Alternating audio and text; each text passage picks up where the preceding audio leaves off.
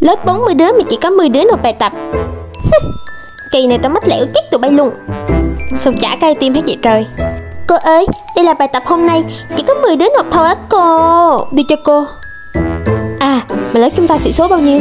Dạ lớp chúng ta 40 người lận 40 người? Mỗi người thả cho con một tim là được 41 tim rồi Hả? Alo, hiệu trưởng hả? Cô Chi, cô đã làm xong đồ án nghiên cứu khoa học chưa? Dạ dạ, em đã làm xong rồi. Dạ, để lát em nộp liền. Nhớ gửi cho tôi đó.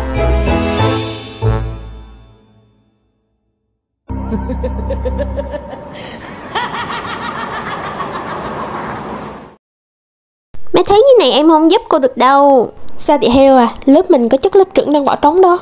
Cô ơi, mấy việc của con như này cô không cần đụng vào. Để em làm là được rồi. Vậy lát cô quay lại nha.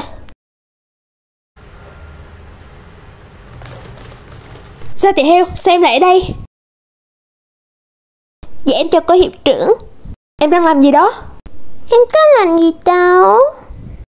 Ai, Còn thiếu 9 người nữa mới đủ 50 tim Hiệu trưởng Sao cô còn chưa gửi bài cho tôi nữa? Dạ em chuẩn bị gửi cho cô nè. Sao thì heo? Sao em lại chơi máy tính của cô? Hả?